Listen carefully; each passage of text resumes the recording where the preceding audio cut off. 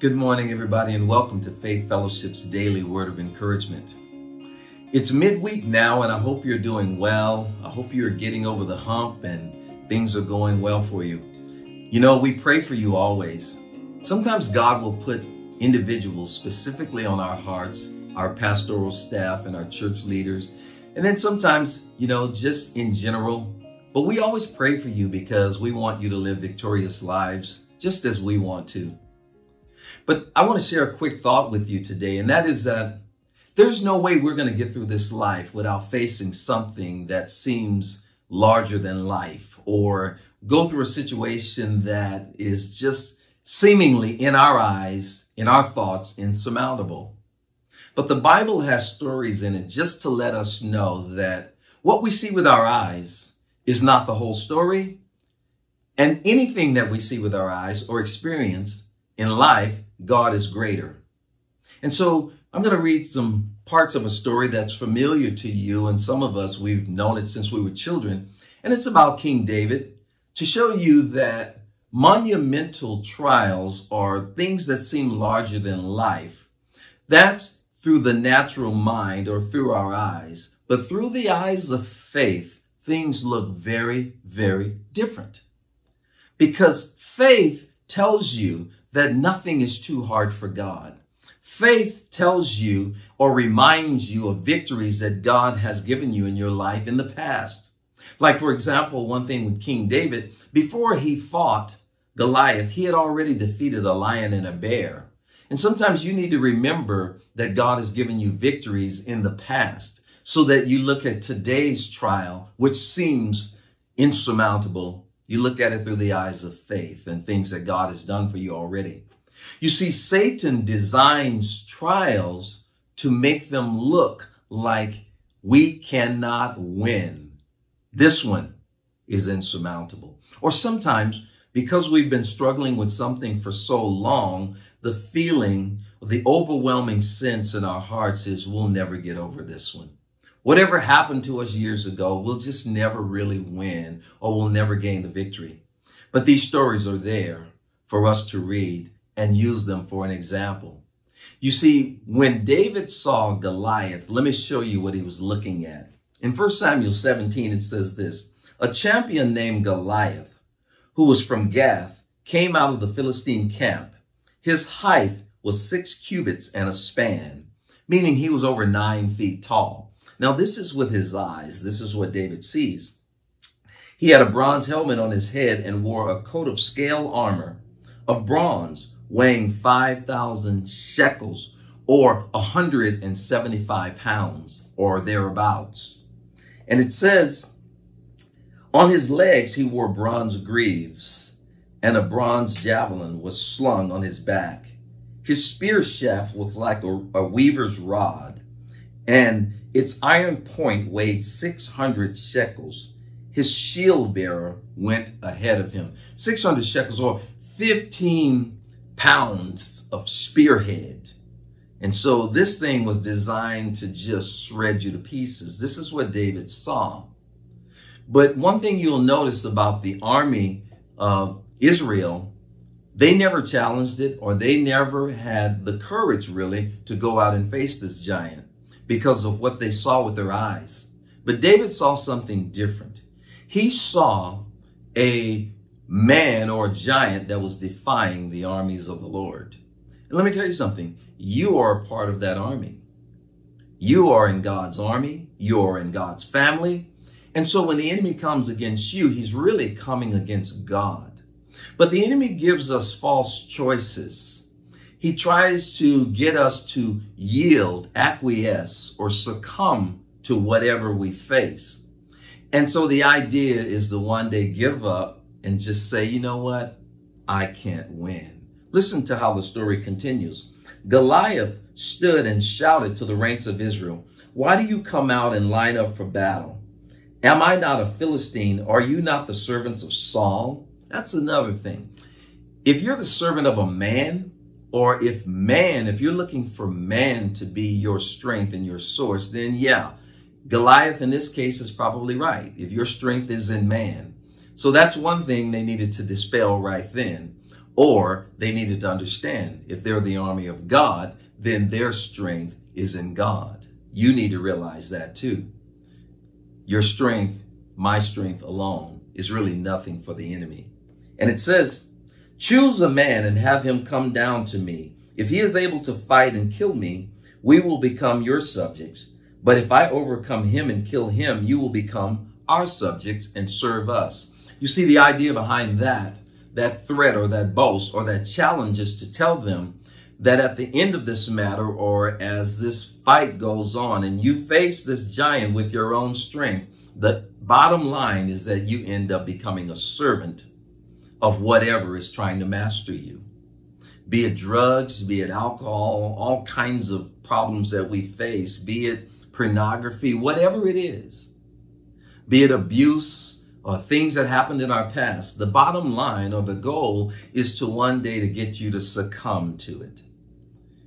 If you fight with your own strength, is what Goliath is saying, I'm going to beat you. And then when I do, I want you to bow down and serve me. That is not an option. That is a false choice. That's not an option for you as a believer. We will bow down to no one. It's only God that we will serve. So that being true or our reality, let's just, let's agree on that right now together. We will never bow down to anything or anybody except the Lord Jesus Christ himself. David saw this behemoth of a man, and David went after him and he challenged him. But David said something that let you know his mindset or his mentality about this trial he was facing. He recognized something that you need to recognize. He recognized something that I need to recognize and always remember. And so here's what he says to the giant of Gath. This day the Lord will deliver you into my hands and I'll strike you down and cut off your head. Now, this is a boy talking. And the reason David could say that, or he understood that he could overcome insurmountable odds, is because in his life, in his earlier life, he had defeated a lion and a bear already. He realized that God was with him. Do you know that God is with you? Do you know that God is for you? Do you know that God is more than able, and God can do above and beyond, exceedingly more than you or I could ever think or imagine. You see, that fact or those facts and that reality has to be a part of your thought process that whatever you face, my God is bigger. And here's what David says. This very day I will give you, give the carcasses, I will give the carcasses of the Philistine army to the birds and the wild animals, and the whole world will know that there is a God in Israel. Here's what David was saying. This victory is going to be because the Lord fights my battles. David did not say that he was going to go into that uh, battle and defeat Goliath by himself. David had a, a deeper point in mind. He wanted people to know that there is a God in Israel. I want you to know that your God is with you. And when you are victorious, people know that there is a God that, that loves you. There is a God that is for you. There is a God who protects you. There is a God who strengthens you. And David continues. He says, all those gathered here will know that it is not by sword or spear that the Lord saves for the battle is the Lord's, and he will give all of you into our hands. There's no way David would have won that battle unless he went into that battle knowing that it belonged to the Lord. You've got to know that the battle belongs to the Lord. And if God is for you, what does it matter who's against you? If God is for you, the battle belongs to the Lord. You've been trying to fight all of your battles on your own strength. Think about it. The, the giant is over nine feet tall, over 750 pounds, a spearhead of over 15 pounds, 175 pounds of armor, all designed to be visibly insurmountable. But you see, those dimensions were put there so we would know how big this fight was. But we would also know in the end how big God is. But there's a secret that David had, and I want to share that real quick. And that secret is this, that something had happened in David's life when Samuel, the prophet, had come to him. It says, So Samuel came to David, and he took the horn of oil and anointed him in the presence of his brothers. And from that day on, the Spirit of the Lord came powerfully upon David. Samuel then went back to Ramah. Or what he's saying is, the Spirit of God was upon David. let me tell you something about that Spirit.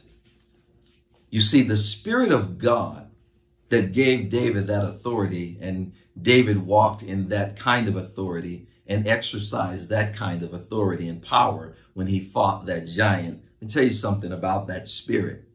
One thing you need to know, the same Spirit that was in King David is the same Spirit that's within you. Here's a little something about that Spirit. Now to each one, the manifestation of the Spirit is given for the common good.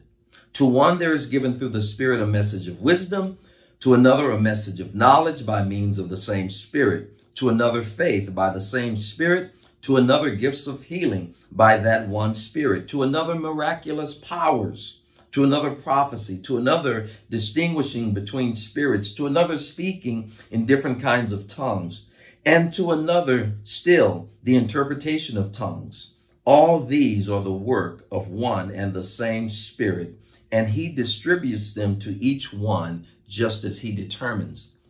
The Spirit of God in you is so multifaceted. God can distribute to you any one of those gifts anytime he chooses. But you need to realize that the spirit that was in David is in you. And that spirit is so multifaceted that whatever you face in your life, the authority, the power of God is already at work in you. David understood that about himself, that the Spirit of God was with him. Remember, no matter what the situation, how big, how monumental it may seem to your eyes, that Spirit that was in King David is in you and it has a multiplicity of powers. Walk in the Spirit and let God show you how to walk in victory. Have a great week. God bless you.